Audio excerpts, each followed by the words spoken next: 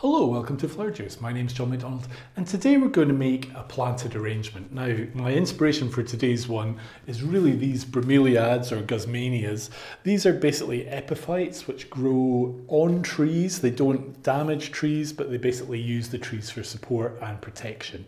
So these are really, really cute, these little ones that you can get. Normally you tend to see them this kind of size. They come in a range of colours. I've chosen ones that are more on the kind of reds and oranges.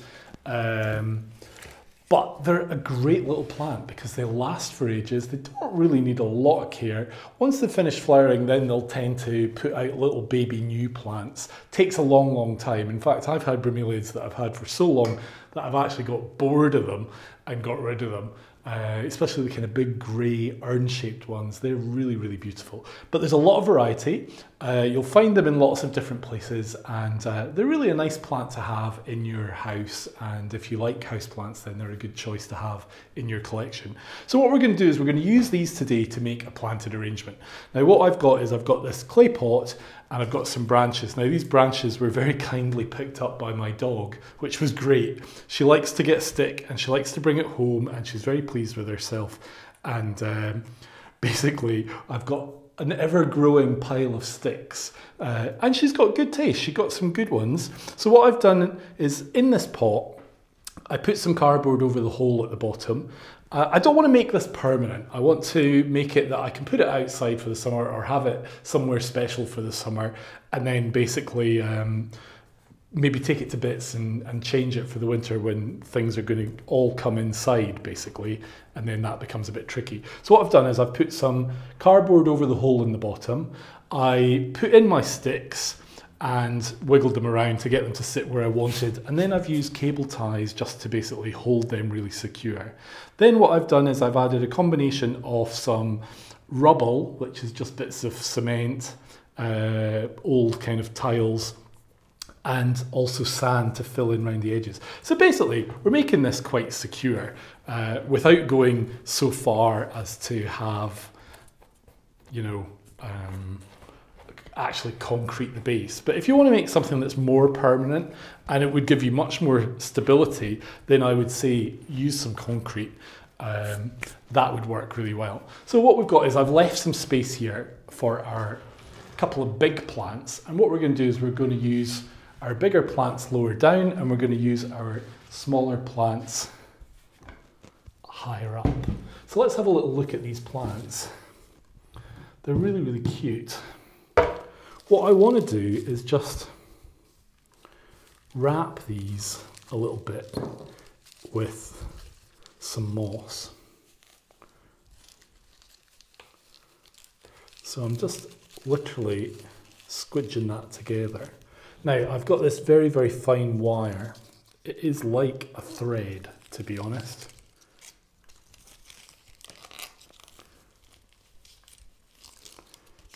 And we're just going to go around a good few times. I want this to be secure.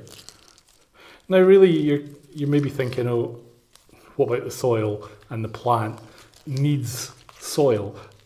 It needs soil basically to anchor its roots. The roots are really just as an anchor rather than the main way that the plant gets water or uh, nutrition. So what we can do is we can basically make this little kokedama sort of idea where we just bind off the plant. Isn't that cute? so you could actually have these that they, uh, they hang. So that is what we're going to do. So let's do a couple of those first and get them out of the way. So let's have a look at this. What I really want to do is make something that's kind of all round. It doesn't have to be particularly one way, but I think this guy works really well here. Now what I am going to do, I'm going to leave him in the pot. Uh, because he's not going to be supported on the branches as such, he doesn't need to come out the pot.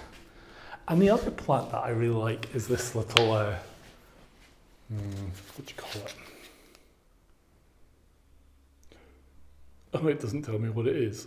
But, but I've got, it's a Rhipsalis, I think. Uh, I could be wrong. And again, I'm going to leave him in the pot as well. For no other reason than I don't really need to take them out.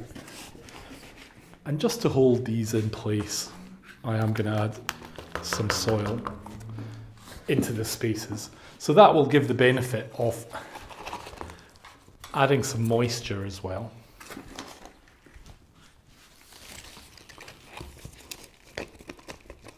That's the only thing we do in things like this. Quite messy. But that's okay.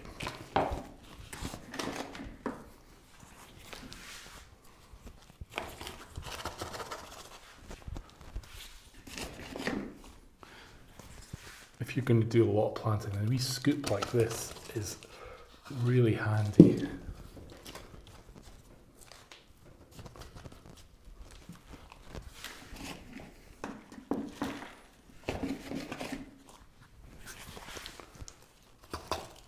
I'm not going to fill this right up to the top because I do want to use some of my lovely moss that I've got just as a finish onto that. Fact, we can just put that on now.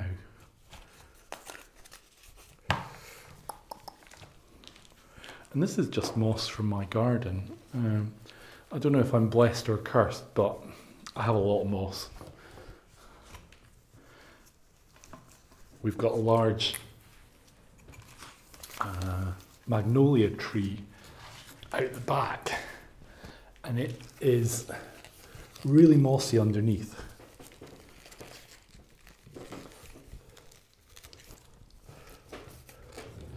I'm just putting this in such a way that actually it can look a little bit moundy. So a bit like a bun moss. It was quite quite cute. Rather than just putting it all in flat. And I think that actually looks quite cool like that, but once we add our other little plants, we're really going to take this up a level. But let me just have a little clean up first.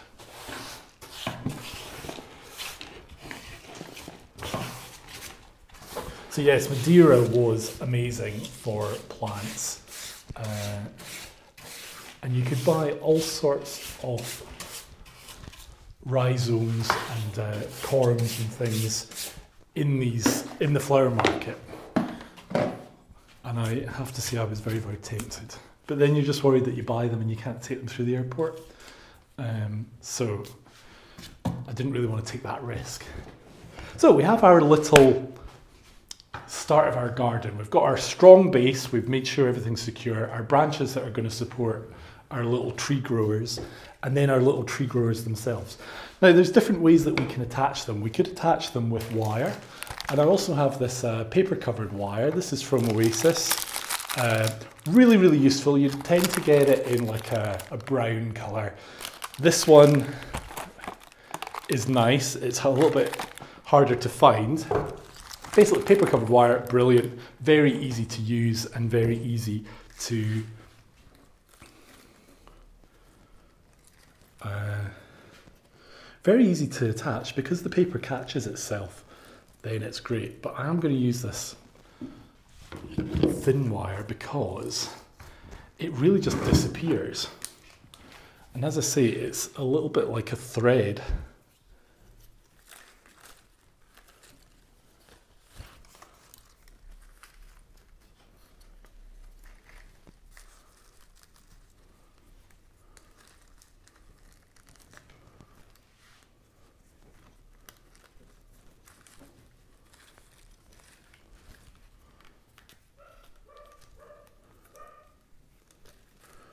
So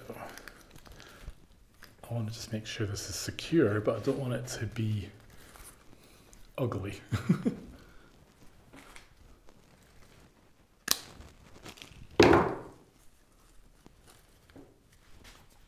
So you can see we're starting to create space and create interest. Now, I think because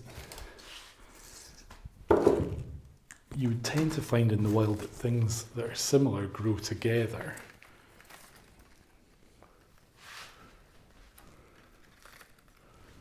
we should maybe bring these so that they're visually kind of close together.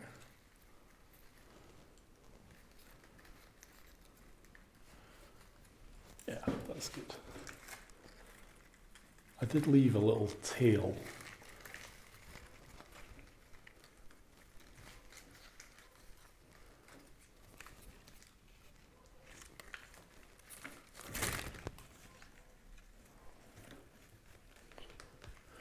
I've just got to that age where I really need glasses. And even with glasses, when things are fiddly, or as we say in Scotland, footery, then uh, it just takes a second. you have to concentrate. What's it they say? Old age doesn't come on its own.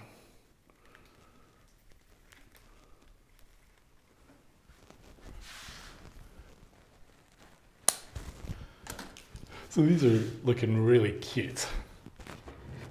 And what we're really doing is we're playing with uh, the space and the contrast of textures and things as well. I like the idea of maybe him. Where would he go? There? Up here? Actually, up here is quite good.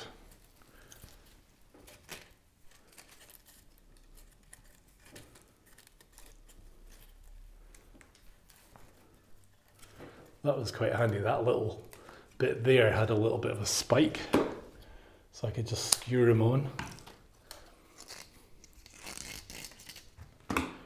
But just to be on the safe side,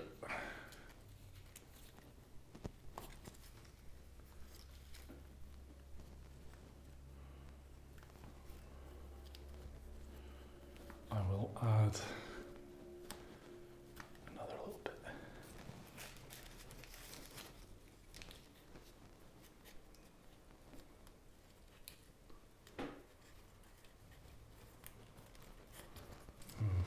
See? Exactly what I say. I can't actually see this thread. I'm just really doing it by feel. Right, I like him up there. That's quite cool. So let us have a little look. Should maybe put a little one down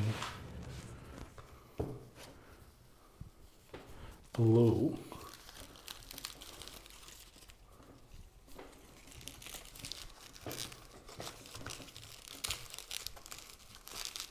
But he can come out the pot. Yeah, that's better. So I was taking him out of the pot and popped him in there.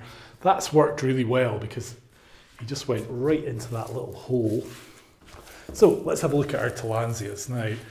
I've got them on some of this paper covered wire. Uh, the reason I'm doing that is because I want to be able to take them off and give them a good dunk now and again.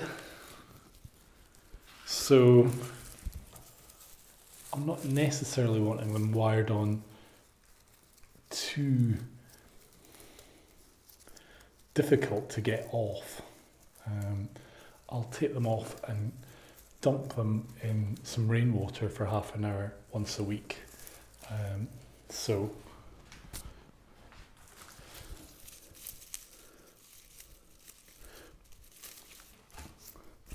I felt a little bit sad because this was, as I say, one whole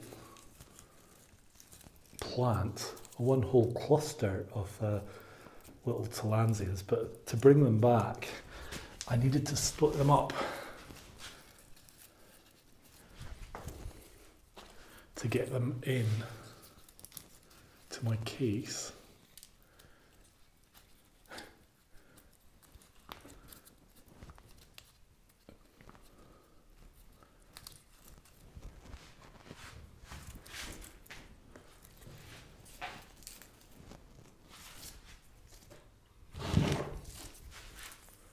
And you can actually see on this one, this is uh, a mother one that's got little baby ones. So we really want this one to do well.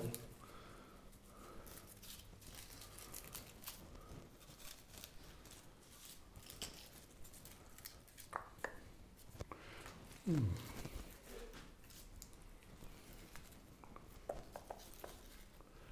Actually, that's quite